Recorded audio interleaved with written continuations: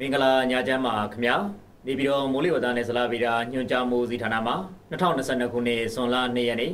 9:00နာရီချိန်ထုတ်ပြန်တဲ့မိုးလေဝသသတင်းများကိုတင်ပြပါမယ်ခင်ဗျာဒီကနေ့ညနေ6:00နာရီခွဲချိန်တိုင်းထွာရရှိခဲ့တဲ့အမြင့်ဆုံးပူချိန်များမှာ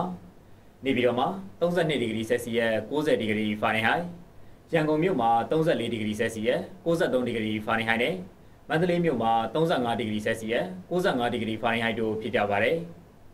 ဒီကနေ့ညနေ6နာရီခွဲအချိန်မိုးလေဝသကြိုလူမှာဖမ်းရရှိတဲ့ပုံရ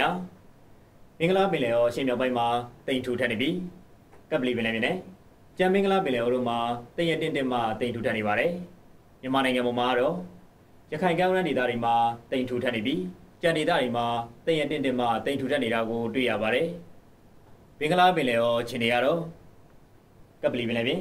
မင်္ဂလာပင်လယ်ရောတောင်ပိုင်းအရှိလေပိုင်းနဲ့ အရှိမြောက်ပိုင်းတို့မှာမုတ်တုံလေးအာတင်တင်မှာအားကောင်းနေပြီ။ကြံမင်္ဂလာပင်လယ်အော်မှာတည့်ရတင့်တင့်ဖြစ်တော်နေပါတယ်။မြမပင်လယ်ပြင်မှာမြမကမ်းလွန်တစ်လျှောက်နဲ့ကမ်းလွန်ပင်လယ်ပြင်တို့မှာတခါတရံမိုးသက်လေပြင်းများကြာရောက်ပြီးလှိုင်းတင်တင်မှာလှိုင်းကြီးနိုင်ပါတယ်။မိုးသက်လေပြင်းကြစဉ်ရေပြင်မြေပြင်လေးဟာတနအီကိုမိုင်30မှာ35မိုင်ထိတိုက်ခတ်နိုင်ပါတယ်။လှိုင်းမြင်မှာမြမကမ်းလွန်တစ်လျှောက်နဲ့ကမ်းလွန်ပင်လယ်ပြင်တို့မှာ9ပေမှ10ပေခန့်ရှိနိုင်ပါတယ်။ မနက်ဖြန်မွန်းတဲ့ချိန်ထိခန့်မှန်းချက်များအနေနဲ့ကတော့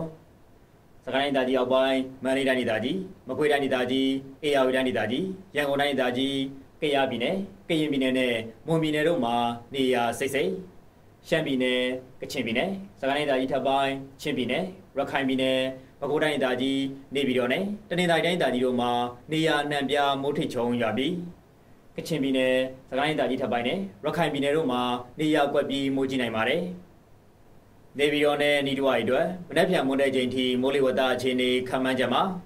နေရာကွက်ကြားမိုးထိချုံရောက်ပါမယ်။အနေဆုံးမူချိန်မှာ24ဒီဂရီဆယ်စီယပ်85ဒီဂရီဖာနေဟိုက်ရှိနိုင်ပါတယ်။ရန်ကုန်မြို့နယ်နီးတဝိုက်အတွက်မနက်ဖြန်မွန်းတဲ့ချိန်ထိမိုးလေဝသအခြေအနေခန့်မှန်းချက်မှာလည်း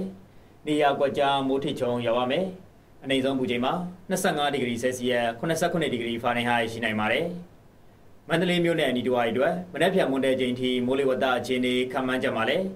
နေရာကွက်ကြားမိုးထချုံရွာပါမယ်။အနေဆုံးမူချိန်မှာ28ဒီဂရီဆယ်စီယပ်82ဒီဂရီဖာရင်ဟိုက်ရှိနိုင်ပါတယ်။နောက်နေ့ရက်အတွက်ခန့်မှန်းချက်အနေနဲ့ကတော့